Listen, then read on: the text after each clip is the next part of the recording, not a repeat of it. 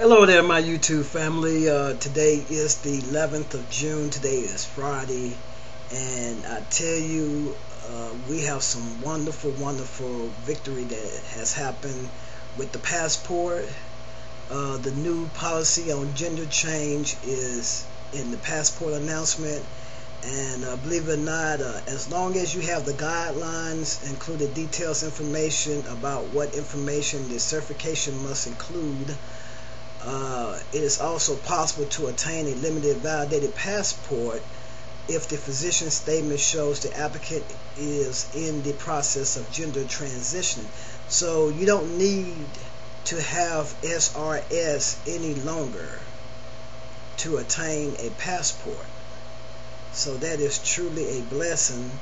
Uh, the only thing you really need is a uh, letter from your physician actually stating um, but I'm gonna put the website up on. Uh, it's actually www.state s t a t e dot g o v.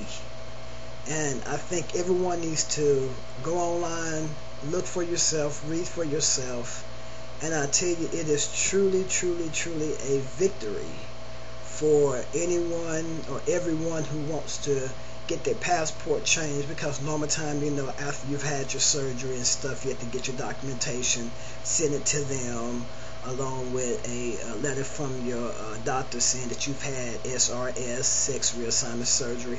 But the good thing about it is you do not need that anymore, any longer. So yay! That's that's awesome. And um, it says this. It says the new policy and procedure are based on standard and recommendation of the World Professional Association for Transgender Health, which is WPATH. Uh, and you can go to their website www.wpath.org. O-R-G. Uh, recognized by the American Medical Association as the as the authority in this field.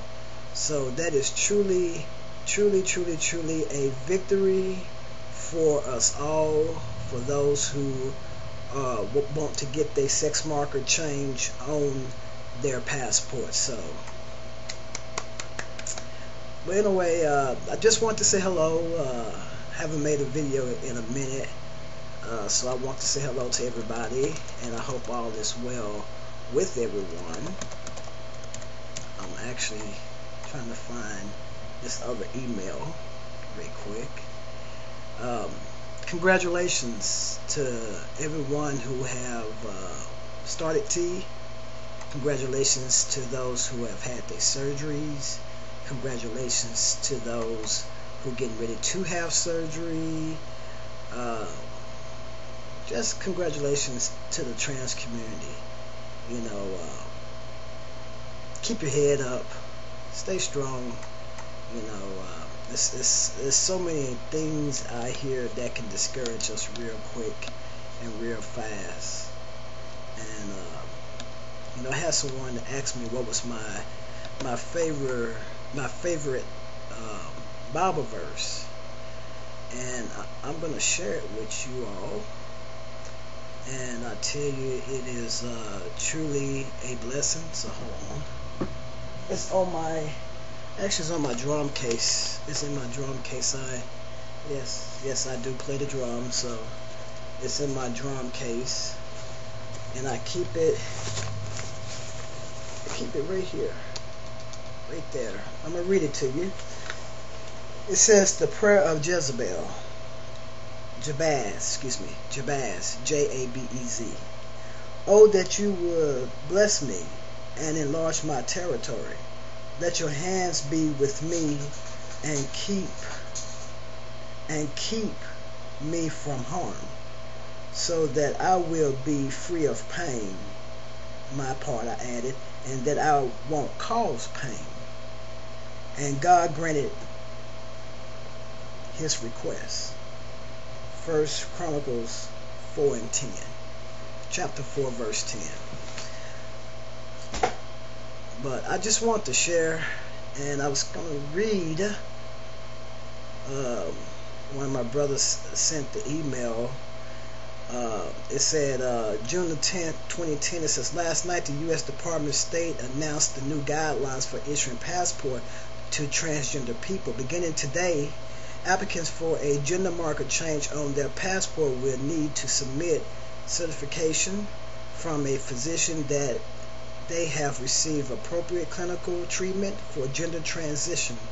Most importantly, gender reassignment surgery is not required under the new policy.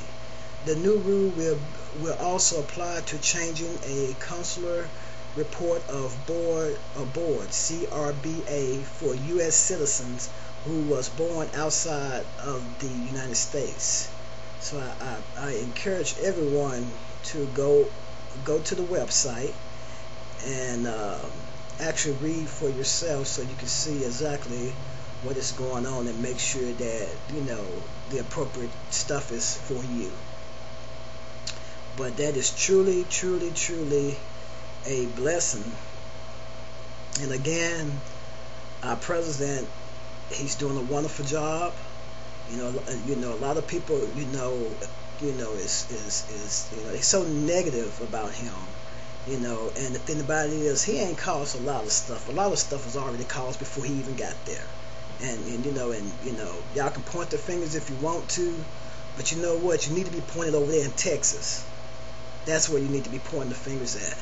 You know, he's human. Our president, he's human.